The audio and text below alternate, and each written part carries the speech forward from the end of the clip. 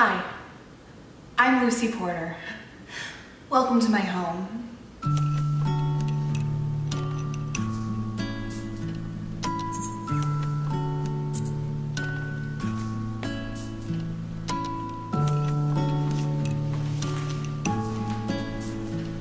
I do feel compelled to welcome you into my my space.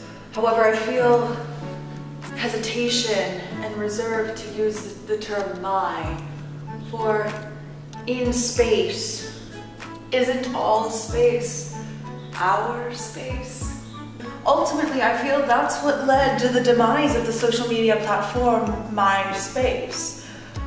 It didn't have the social awareness to think about the vocabulary that it was employing into an entire generation. And, and frankly, that's where I feel we see the current rise in political movements and, and moments. I look around my home and I I don't see the emptiness, I see I see the wholeness of my spirituality. Somewhere over the rainbow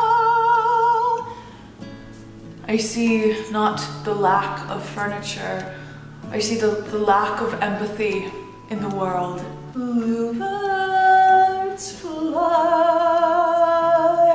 And for me, I'd much rather speak up and, and say something within my minimalism.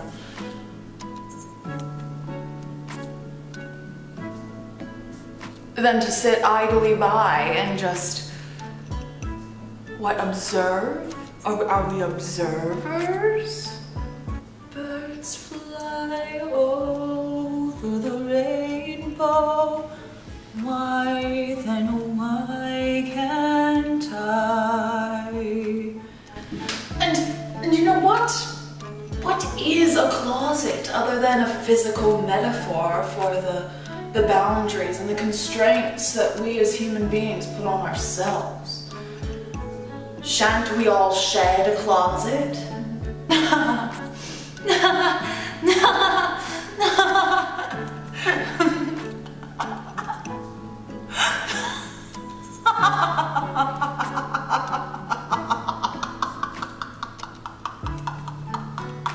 And sure, there are some throwing around terms such as governmental repossession of your items, but I don't see it as such. I see this as a um, as a beginning, as a as a fresh start presented to me by Plato and by Aristotle and all the forefathers who have created the world as we see it.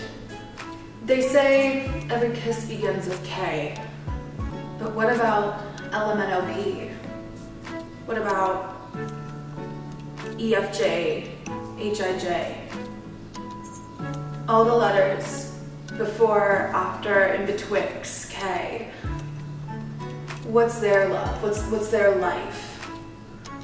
What's their story? As someone who's been oft deprived of a story, I, I not only feel, but I, I wonder. Like my curious heart roams for those letters who may or may, may not have the opportunity to experience love in the same bandwidth as K.